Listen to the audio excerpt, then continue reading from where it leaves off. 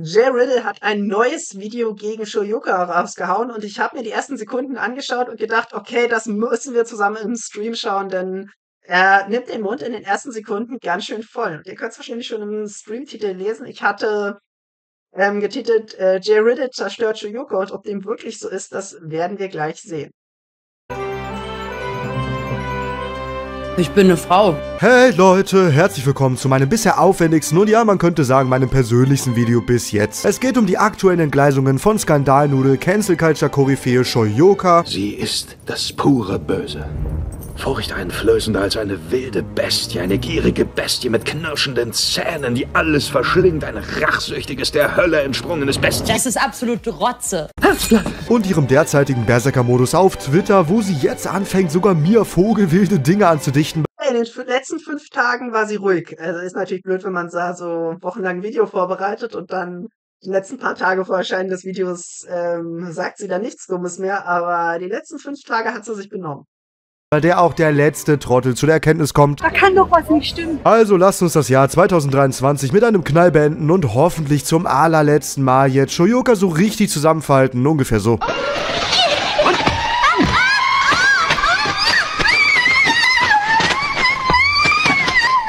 Wem Shoyoka nicht sagt, das ist die Person, welche ständig mit arroganten Also jetzt werden ihre Fans wahrscheinlich rumheulen, dass du ihr die Existenz abgesprochen hast. Abfälligkeiten gegenüber normalen Leuten auffällt. Freunde funktionieren Nazi-Gruppen. Erzähl uns was, womit wir nicht gerechnet hätten. Cis-Heteroman. Die Person, welche als Person des öffentlichen Lebens ständig gegen alle schießt bzw. Unsinn verbreitet und wenn dann Leute darauf eingehen, ist das in ihren Augen eine elfmonatige frauenfeindliche Hetz- und Hasskampagne gegen sie. Und sie macht einen auch. Ja, nicht nur das, das ist Mobbing. Also wenn ihr einen Wokie kritisiert, selbst wenn dieser Wokie eine Frau ist, dann ist das Mobbing, dann ist das eine antifeministische Hetzkampagne. Also sowas geht natürlich gar nicht. Muss das? Oh, nee. mm. Mal ernsthaft, sie steht wegen ihrer dummen Aussagen in der Kritik nicht dafür, weil sie eine Frau ist. Genauso wie Leo. Mm, Ja, das ist gar nicht mein Hauptkritikpunkt. Also, da, dass sie dumme Aussagen ähm, tätigt, stimmt zweifellos, aber das Ziel dieser Aussagen ist das große Problem. Sie will andere Leute vom Diskurs ausschließen, sie will sie canceln und das hat, ist ihr bei KuchenTV auf Twitch zumindest gelungen. Bei Nemesis ist es ihr zumindest für 48 Stunden gelungen. Also, das ist schon problematisch und wir sehen, wie sich Bundestagsabgeordnete, wie sich die Amadeo Antonio Stiftung mit Shoyoka solidarisiert. Also dieser Streit ist schon auf einer höheren Ebene angekommen. Es gab ja schon einige, die gefordert haben, dass Böhmermann sich der Sache annehmen sollte. Leroy, der stand auch lange in der Kritik wegen seinen Videos. Hat der sich jetzt hingestellt und gemeint, es läuft eine rassistische, rollstuhlfeindliche Hasskampagne gegen ihn, nur weil es ein paar Kommentare von dämlichen Antisemiten in die Richtung gab? Ich sage nein! Er hat sich hingesetzt und das nicht behauptet. Du Goofy. Aber nein, Shoyoka sieht Dinge, die andere nicht sehen. So hat sie auch erkannt, dass die super problematische Alicia Joe der schwarzen Community schadet. Und das ist so weit weg von der Realität, das glaubt ihr gar nicht, Leute. Ich habe Alicia vor kurzem auf dem Monte-Event kennengelernt und die ist super in Ordnung. Habe dort sogar ein Foto mit ihr und ihren Homies gemacht, mit denen sie da waren. Nette Leute, die hatten auch immer ein Feuer, wenn ich eins brauchte. Aber mal ernsthaft, dort hat mir Alicia auch erzählt, dass sie in ihrem ganzen Leben noch nie einer farbigen Person geschadet hat. Bis auf, ja, den Unfall im Garten letztlich. Ich werde heute endlich das Eichhörnchen umbringen, das immer unsere Tomaten klaut. Heute brauchen wir acht, mein Sohn. Ich möchte Bruschetta machen. Im Großen und Ganzen könnte man sagen, dass alles, was von Shoyokas Meinung abweicht, anscheinend problematisch ist und allein diese Ignoranz von Shoyoka ist so unangenehm. Manchmal denke ich, sie hat ein Brett vorm Kopf wie Leroy beim Hürdenlauf, aber als wäre ersteres nicht schlimm genug, gehen bei ihr Begriffe wie Nazis Und- transfeindlich. locker flockig von der Zunge, als wäre es ein guten Morgen, Schatz. Und ey, wenn diese Universalwörter in ihrem Satzbaukasten mal nicht passen, dann kann man ja immer noch marginalisierte Gruppen vor den Busch schmeißen. wenn man People of Color vor den Bus schmeißt. Oder aber man wird halt selbst gerade opferrollenmäßig vor den Bus geworfen. Weil ich Im auch. Chat wegen der Amadeo Antonio Stiftung fragt. Ich kann euch ja mal den, ähm, also ob es frauenfeindlich ist, wenn man Annetta Kahanes äh, Stasi-Vergangenheit ähm, kritisiert. Ich, ich kann euch ja mal ihren äh, Wikipedia-Artikel äh, zeigen und da kann man echt, ja, schon ins Verzweiflung geraten. Wenn man Annetta Kahanes ähm, Stasi-Vergangenheit ähm, kritisiert. Wartet, wartet, wartet, wartet. Reaktion seit Bekanntwerden der IM-Tätigkeit.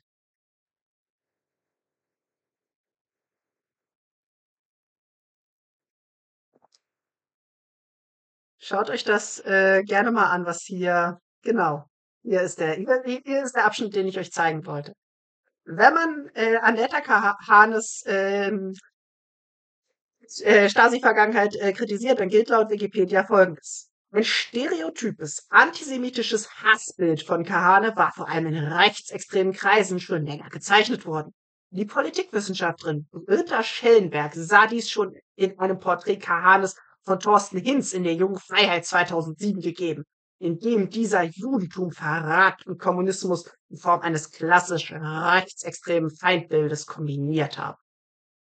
Ja, wenn man Annetta Kahanes ähm, Vergangenheit kritisiert, dann ist man nicht frauenfeindlich. Nein, also die haben hier eine wesentlich härtere Verleumdung. Dann ist man Antisemit. Also das wird, das legt zumindest dieser Wikipedia-Artikel hier da. Also es, es, es geht noch viel härter. Es geht noch viel härter. Also Shoyoka, also Shoyoka hat noch nicht auf der maximalen Stufe eskaliert. Also Shoyoka könnte noch viel mehr, zumal sie ja die Rückendeckung von wirklich mächtigen Institutionen hat. Wie beispielsweise der Amadeo Antonio Stiftung. Also, ich lese jetzt mal weiter aus dem Artikel. Die Untersuchung Salzborns selbst zeigt eine weitere Häufung antisemitischer Angriffe auf Kahane ab 2015. Besonders markant in bildlichen Darstellungen, Fotomontagen in den sozialen Medien, die Kahane mit Symbol des Judentums und des sowjetischen Kommunismus zeigten. Ach, woher das wohl kommt? Unter anderem publiziert von dem AfD-Abgeordneten Peter Bistron und danach in zahlreichen sozialen Netzwerken weiterverbreitet. Dazu kamen sexistische Gewaltfantasien, wie sie besonders in E-Mails an die Stiftung stark vertreten waren, und Morddrohungen. Ja, hier habt ihr dann noch die Frauenfeindlichkeit mit drin. Ja, also das ist, äh, Shoyoka ist noch auf Level 3 und Kahan ist Level 80, absolut. Also die Walkisten, die können noch viel mehr eskalieren. Also wenn ihr geglaubt habt, äh, Shoyoka wäre schon die Spitze des Eisberges, es geht viel, viel schlimmer. Die Amadeo Antonio Stiftung ist da sicherlich eines der besten Beispiele, aber ihr könnt euch beispielsweise auch die Stiftung Liberale Moderne ansehen, die ist äh, grünnah, die ist äh, eher transatlantisch, der Wokismus, der ist da sicherlich auch vorhanden, aber der spielt nicht die zentrale Rolle und die verleumden ihre Gegner auf, ähm, ja, auf ähnlichem Niveau. Aber die Amadeo Antonio Stiftung, die kommt, glaube ich, keiner ran. Das ist, das ist nicht mehr zu erreichen. Ja, das wollte ich euch nur kurz, ähm, äh, nur kurz zeigen, um zu ähm, ja, um zu zeigen, wofür die Walkisten so etwas einsetzen, warum sie solche harten Vorwürfe äußern. Sie äußern das nämlich mit dem Ziel. Shoyoka will die Leute aus dem Diskurs ausschließen, wenn sie ihnen Frauenfeindlichkeit, eine antifeministische Herzkampagne, Mobbing, was auch immer vorwirft, um sie zu canceln. Sie will diese Leute unmöglich machen. Aktuell gelingt ihr das nur so semi-gut. Also, wie gesagt, Kuchen TV ist gecancelt, aber die Leute bekommen natürlich eine Menge Klicks, weil die Leute sehen, dass Shoyoka keine Argumente hat, aber demokratische Mindeststandards ablehnt und den freien Diskurs bekämpft. Also das ist mehr oder weniger die Situation. Shoyukas größter Feind ist aktuell der freie Diskurs und nicht mal ein ihrer eigenen Charakterschwächen oder irgendein besonders gut argumentierender YouTuber, sondern der Feind von Shoyuka und auch von Walkies allgemein ist der freie Diskurs. Wenn wir frei über die Argumente von diesen Leuten debattieren können, dann wird klar, dass sie keine Argumente haben, sondern nur irgendein manipulatives Framing, wie zum Beispiel jede Kritik an uns ist frauenfeindlich. Das kann man machen, wenn man kulturelle Hegemonie hat. Das kann man machen, wenn man seine Gegner zensieren kann. Das kann man aber nicht machen, wenn freier Diskurs herrscht. Und deswegen bekämpft Shoyoka den freien Diskurs. Und bei der Amadeo Antonio Stiftung, da sieht man das alles nochmal auf Steroiden an dieser Situation gerade wieder einfach vor den Bus geworfen werde und sich die politische Linke völlig darin versagt, sich mit mir zu solidarisieren. Generell scheint sie ein sehr schwieriges Verhältnis zu Bussen zu haben, so oft wie sie das Wort negativ verwendet. Ihre Schulzeit stelle ich mir so vor. Stop! Stop the bus! Ich bin es. Au. Bevor wir so richtig reingehen in den Bruch, muss ich heute mal aus Befangenheit ein paar ernstere Worte an euch richten. Deshalb gibt es heute vor dem Start mal eine Minute nicht von Jay Riddle direkt, sondern vom Typen hinter der Maske, weil das Thema gerade sehr hochgekocht ist und ich es als wichtig empfinde, das mal nüchtern einzuordnen. So kurz mal Real Talk, Jungs und Mädels. Ich habe lange überlegt, ob ich dieses Video mache. Eigentlich hatte ich mich dagegen entschieden und wollte es nach Absturz von Shoyoka gut sein lassen auf diesem Channel. Meine Videos sind offensichtlich sehr humoristisch und satirisch gestaltet auch und gerade dann, wenn man den Humor nicht versteht oder feiert, kann das schon etwas provozieren provozierend sein. Deshalb hatte ich mich darauf beschränkt, nur noch auf dem Zweitchannel auf die Shoyoka-Thematik einzugehen, wo ich die Möglichkeit habe, in längeren Reactions das Thema größtenteils sachlich zu beleuchten. Ganz wollte ich die Sachen und die Cancel Culture, welche sie in den letzten Wochen losgetreten hat, natürlich auch nicht unkommentiert lassen, nur halt auf Jay Riddle das reine Böse habe ich mich zurückgehalten, weil A, die Reichweite hier viel höher ist und B, sich hier vor allem mit Humor, Satire und Übertreibung geäußert wird und ja, das kann man immer mit einer Brechstange falsch verstehen, wenn man es dann unbedingt möchte. Auf jeden Fall hatte sie nach außen hin kommuniziert, dass es ihr mit der Situation nicht gut geht und das Ja, aus Shoyokas Sicht hast du sie pathologisiert, gemobbt, äh, dich antifeministisch geäußert und äh, ja, alles was dazugehört und ihr wahrscheinlich Gewalt angedroht durch die kleinen ähm, Einschübe hier vorhin. Also das wird man dir sicherlich alles vorwerfen. Wollte ich für gegeben annehmen und wollte da jetzt nicht weiter Öl ins Feuer gießen, zumal ich mich ja hier jetzt schon geäußert hatte. Bis sie jetzt nochmal nachgetreten hat. Sie hatte sich wochenlang zu mir nicht auf Twitter geäußert und jetzt kommt sie um die Ecke mit maximal frechen Aussagen und maximal dreisten Framing, weshalb ich jetzt heute mein Recht auf Gegenschlag natürlich nutzen werde. Dafür werde ich die letzten Wochen aufarbeiten, was die sich so geleistet hat und damit das hier Ja, und das ist absolut richtig. Also man darf diesen Walkies keinen Zentimeter geben, sondern man muss Gegenrede leisten. Sobald man ihnen einen kleinen Finger rei reicht, reißen sie einem den Arm ab. Also diese Leute wollen Unterwerfung. Diese Leute wollen keinen Diskurs auf Augenhöhe. hier kein 30-Minuten-Video wird, kommt heute Part 1 und in circa einer Woche kommt dann der zweite Part, der finale Part und dann ist die Sache für mich auch erledigt. Also meine lieben Spatiaten, setzen wir noch ein letztes Mal die Segel, volle Fahrt voraus in die Fresse von Shoyoka und begrüßt mit mir Captain Jay Sparrow. Tja, das war wohl schon wieder eine Gewaltandrohung. Aus Shoyokas Sicht.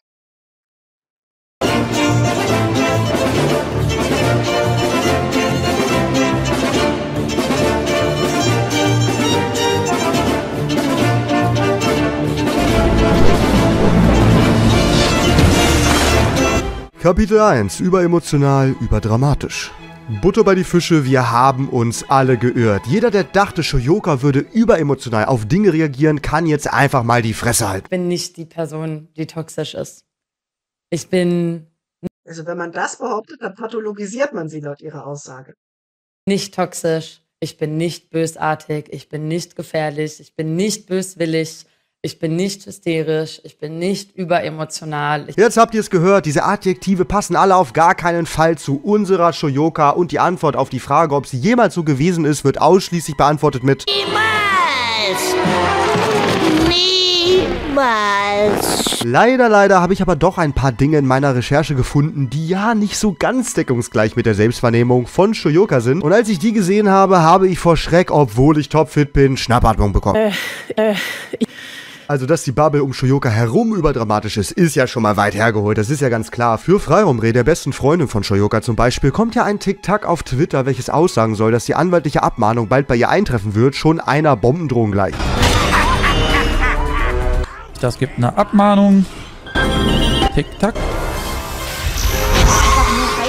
Und Dara, das ist der persönliche Sim von Shoyoka, der, der probiert hat, Shoyokas dumme Aussagen zu verteidigen und dafür ins Kreuzfeuer geraten ist.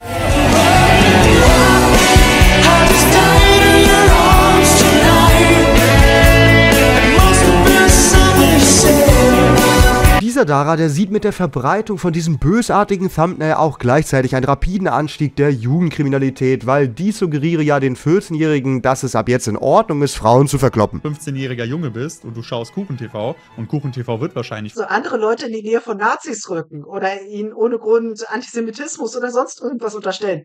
Völlig okay. Anderen Leuten, ähm, ja, ein Thumbnail zu machen, wo der Gegner, den man mit inhaltlichen Argumenten widerlegt hat, äh, verprügelt dargestellt wird, äh, ganz, ganz schlimm, das stachelt nämlich zu Gewalt an. Also ihr merkt, diese Walkies, die, die denken nicht universell, die denken tribalistisch. Sie dürfen alles, ihre Feinde dürfen nichts. von sehr vielen jungen Menschen geschaut. Kuchen TV ist eben so ein Feind. Also der darf äh, Shuyuka natürlich nicht so darstellen, der darf Shuyuka eigentlich gar nicht kritisieren. Also das ist das letztendliche Ziel. Sie suchen nur irgendwelche Punkte, mit denen sie Kuchen TV unmöglich machen können. Sie würden jede Kritik, egal wie sachlich sie geäußert wird, so reagieren, solange diese Kritik eine gewisse Reichweite erreicht. Ähm, dann denkst du halt, das kann man mit Frauen so machen, das ist okay. Nice. Erschwerend dazu kommt natürlich die fatale Aussage von Unmensch Tobias Huch, welcher sich in einer einstündigen sachlichen Reaction erdreistet hat, zwischendrin mal das Wortspiel zu machen. Wegen Freiraumreh macht er vielleicht doch seinen Jagdschein. Das wird selbstverständlich als Gewaltandrohung geframed, weil ist ja schon realistisch, dass Tobias Huch bald mit einer AK-47 durch Spandau marschiert, nachdem er den Krieg in Israel eigenhändig beendet hat. Ihr merkt, die Aussagen der Woke-Bubble könnte man schon als überdramatisch wahrnehmen und gehen ganz gerne mal voll Karacho ins Leere.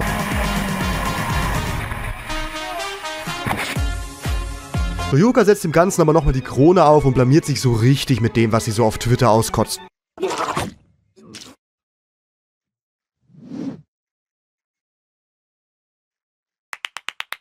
Nachdem Monte in ihrem Stream war und privat reden und ihr Frieden angeboten hat und die Hand reichen wollte, war ihr Kommentar dazu auf Ja, das ist eine Gewaltandrohung. Also wie soll man das auch sonst interpretieren?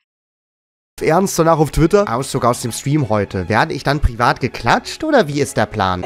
Richtig, Shoyoka. Überhaupt nicht überdramatisch. Genau das meinte Monte, der böse, böse Schläger mit Handreichen, ja. So macht er das immer. Das konnte ich auch beim Monte-Event beobachten, wie er all seinen Jungs zur Begrüßung die Hand gereicht hat. Sah genau so aus. Moin, moin, meine aktiven Freunde. Moin, moin, meine aktiven Freunde. Moin, moin, meine aktiven Freunde. Moin. Ich bin eine Frau. Frauen sind wie Hunde. Aber Leute, es kommt noch viel besser. Als Monte diesen Tweet lesen wollte und im Stream darauf eingehen wollte, wie weit weg das von der Realität ist, blockierst du ihn auf Twitter und meinst, ich habe ein Dutzend Accounts, die an dieser monatelangen Hetze beteiligt waren, blockiert. Monte loggt sich während seinem Livestream vor 25.000 Buhu auf den zweiten Account ein, um die Sperre zu umgehen und weiter über mich zu sprechen. Das ist alles so absurd. Das kann doch nicht ihr Ernst sein. Sie lässt so einen Bullshit vom Stapel, framed Monte als Frauenschläger vor 70.000 Twitter-Followern. Und wenn man dann darauf eingehen möchte, als betroffene Person auf diesen Verkehrsunfall von Tweet, dann ist das absurd. Komm mal klar, dein Monte ist ein Schläger-Tweet, ist so weit hergeholt. Ich frage mich, wie sich Shoyoka Monte vorstellt, wenn er von der Arbeit nach Hause kommt und seine Familie grüßt. So absurd dieses Verhalten schon Shoyoka wirken mag, das hat ein Ziel, das hat einen Zweck. Sie macht das ähm, ja aus rationalen Beweggründen. Sie will Monte canceln, sie will Monte in die Nähe von Gewalt rücken. Egal wie verzweifelt sie es äh, versucht. Wenn sie es häufig genug macht und äh, wenn es genug andere Walker-Canceler gibt, die da mitmachen, dann kann das eventuell Erfolg haben.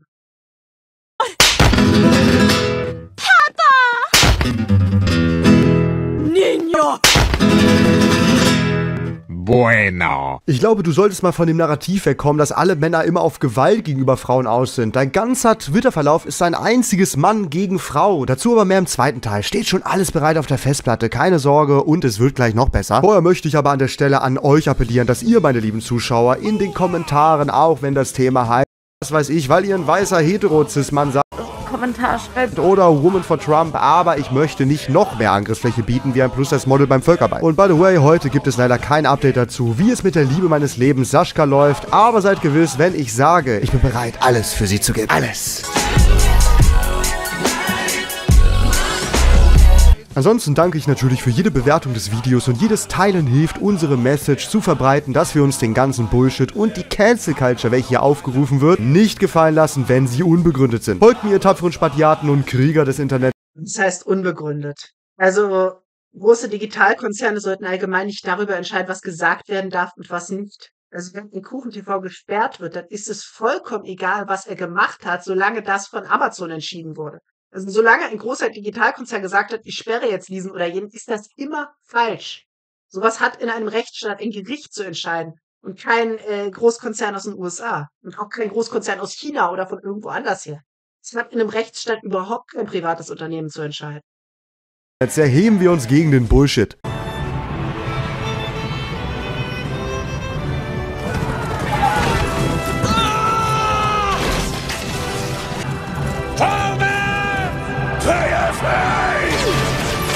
Es geht weiter, dass Anhänger von Shuyoga Tobias Huch Doxing vorwerfen und dieses Video ohne Kontext zeigen und mit Piepen bearbeitet haben, um zu framen. Wo habe ich sie versucht zu doxen? Das ist auch gelogen.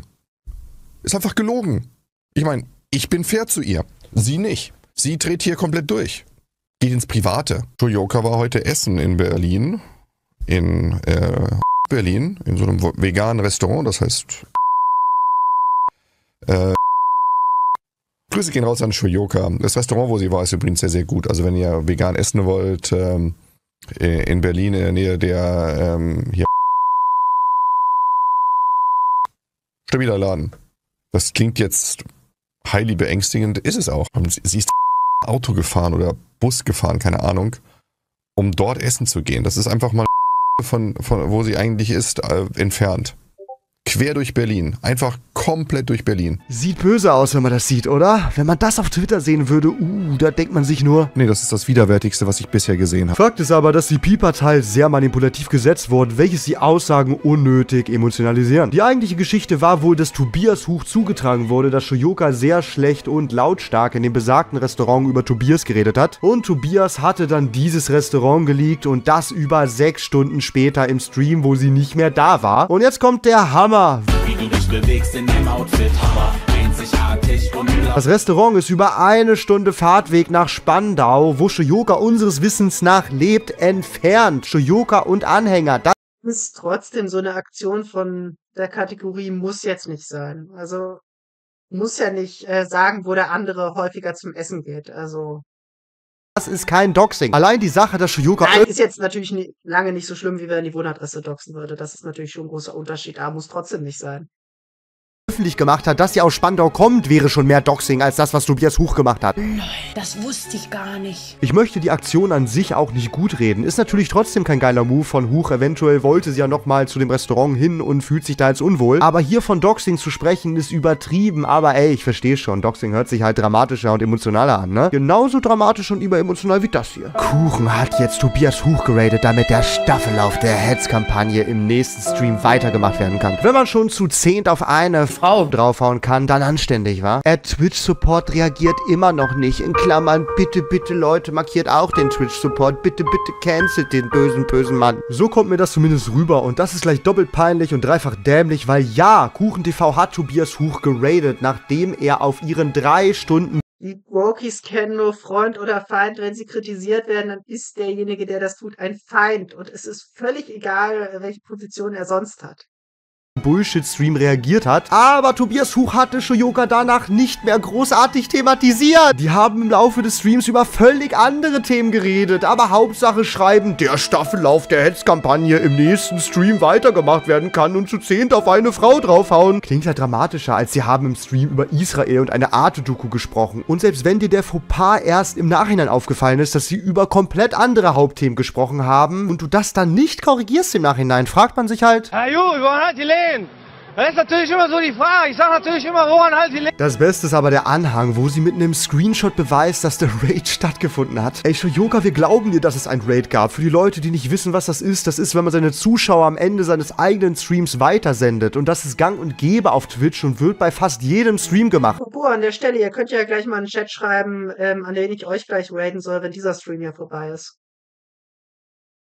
Deshalb beleg uns doch nicht das, sondern lieber deine harten Anschuldigungen, dass Tobias Huch Hetze betreibt in seinen Stream mit konkreten Clips, wo er Hetze Kritik an den Wokies ist Hetze. Egal wie sachlich sie geäußert hat, es ist Hetze. Betreibt in diesem Stream, wenn du schon den Twitch-Support markierst. Die Tatsache, dass Tobias Huch geradet wurde, ist doch kein Beleg dafür. Ihr werdet jetzt denken, war locker nur als Untermalung gedacht, das Bild. Aber nee, man muss sich ja solche dummen Takes von Shoyoka anhören. Wir merken uns, ich habe heute stundenlang alles, was ich geschrieben habe, auf Twitter mit Clips und Screenshots belegt. Ey, ich will meinen Kopf gegen die Wand hauen. Kein Wunder, dass man denkt, dass du hetzt und lügst, wenn das einer von deinen tollen Belegen sein soll. Weitere tolle Belege schauen wir uns übrigens in Part 2 an, aber der Joke an der Sache ist, alleine dieser Tweet ist schon wieder eine Lüge gewesen. Shoyoka war nur wenige Minuten überhaupt ein Thema und das auch nur, weil du den ganzen Abend über diesen Mann getwittert hast, warst du das. Und obwohl das Thema riesig ist, du ihn mit reingezogen hast in die Thematik und man locker ganz viel über deine ganzen Fauxpas hätte reden können, hat er sich entschieden, mit 4000 Zuschauern Israel zu thematisieren. Wo war das bitte eine Hetzkampagne gegen dich? Warum ist immer alles eine Hetzkampagne gegen dich? Wie kann man so überdramatisch sein?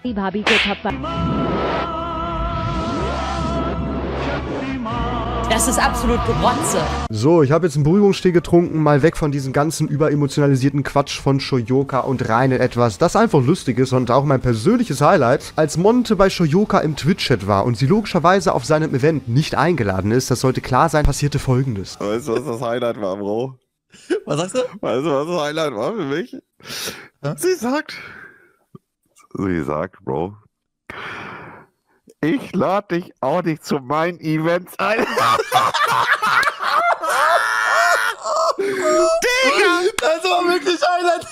Leute, Shoyoka ist original zu Monte gesagt. Ich lade dich nicht zu meinen Events. Mal davon abgesehen, dass das so ein herrlicher Kindergartenkonter ist, nach dem Motto, ich bin nicht auf deiner Party eingeladen, ey, auf meine tollen Partys bist du auch nicht eingeladen. Bitte, Shoyoka, kümmere dich lieber darum, dass du vernünftig streamst und Content machst, in Klammern wohlgemerkt, ohne gegen Leute zu hetzen, dann stört das nämlich auch keinen. Dann läuft es bei dir finanziell auch wieder besser, denn gerade hat keiner Bock auf deine Low-Budget-Partys zu gehen, wo du aus Kostengründen gleichzeitig Türsteher, Garderobe, Bedienung und DJ machst, während Freiraumreh auf der Tanzfläche alleine Bombenstimmung machen muss und Dara sich auf der Toilette die Augen ausholt, weil du ihn nicht beachtest. Ähm, aber auf jeden Fall hat Shoyoka mit diesem Konter gezeigt, dass sie genauso schlagfertig ist wie Monte, wenn man ihm die Hand reichen möchte.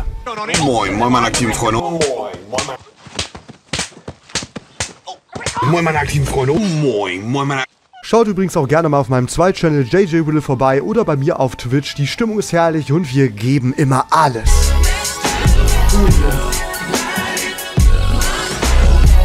Zusammenfassend lässt sich sagen, dass Shoyoka und ihre Leute nicht nur chronisch Dinge missverstehen oder aus dem Zusammenhang ziehen, sondern auch, dass ihr mal die ein oder andere Auszeit guttun würde. Und dass, joa, man schon sagen könnte, dass Shoyoka durchaus emotional und manchmal auch etwas hysterisch reagiert. Ungefähr so. Hey Tyler, are you on your way to algebra? Wollen wir uns in Frieden die Hand reichen? At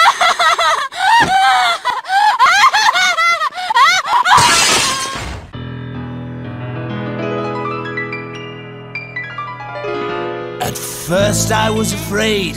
I was petrified. Kept thinking I could never live without you by my side. Weren't you the one who tried to hurt me with goodbye? Did you think I'd crumble?